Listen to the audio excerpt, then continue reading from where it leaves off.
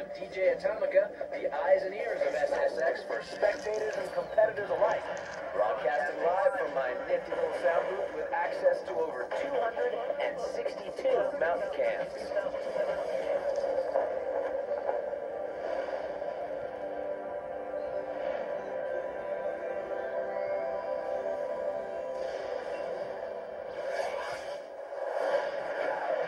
Some mountain info for those of you out riding today. Reports in from Peak One's high alpine state that avalanche conditions have only been to the extreme.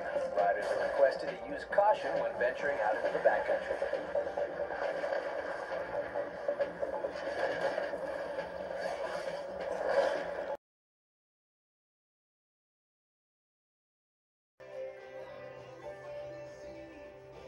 If that be so, then the words of the carol could never.